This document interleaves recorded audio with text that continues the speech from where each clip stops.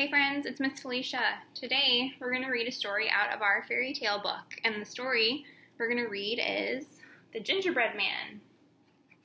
Okay, so once upon a time, a little old man and a little old woman lived in a cottage near the river.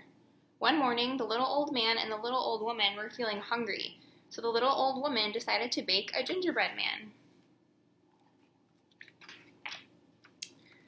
Little old woman mixed together the flour, sugar, butter, corn syrup, ginger, baking soda, and egg to make the gingerbread dough. Then she rolled the mixture out flat and used the cutter to make it into the shape of a gingerbread man.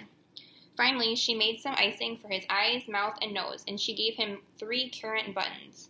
At last, the gingerbread man was ready to be baked, and the little old woman put him into the oven.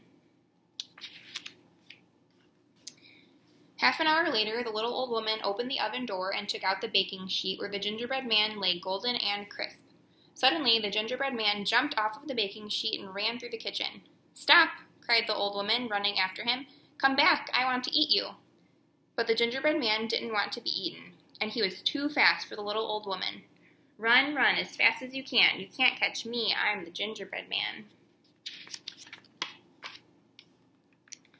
The gingerbread man ran into the garden and passed the little old man. Stop! cried the little old man, setting down his wheelbarrow. I want to eat you. But the gingerbread man ran even faster. I've run away from a little old woman, and I can run away from you, he said. Run, run, as fast as you can. You can't catch me. I'm the gingerbread man, he chanted. The little old man and the little old woman chased the gingerbread man, but he was too fast. The gingerbread man ran through the yard and passed a pig. Stop, snorted the pig. I want to eat you. But the gingerbread man ran even faster. I run away from a little old woman and a little old man, and I can run away from you, he said. Run, run, as fast as you can. You can't catch me. I am the gingerbread man, he chanted. The little pig chased the gingerbread man, followed by the little old man and the little old woman. But the gingerbread man was too fast.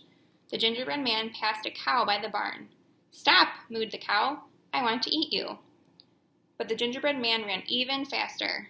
I run away from a little old woman, a little old man, and a pig, and I can run away from you, he said. Run, run, as fast as you can. You can't catch me. I am the gingerbread man, he chanted. The cow, the pig, the little old man, and the little old woman all chased after the gingerbread man, but the gingerbread man was too fast. The gingerbread man passed a horse in the field. Stop, neighed the horse. I want to eat you. But the gingerbread man ran even faster. I've run away from a little old woman, a little old man, a pig, and a cow, and I can run away from you, he said.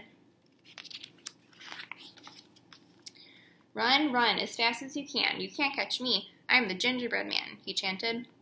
The horse chased the gingerbread man, followed by the cow, the pig, the little old man, and the little old woman. But the gingerbread man was too fast. Then the gingerbread man reached a river and stopped.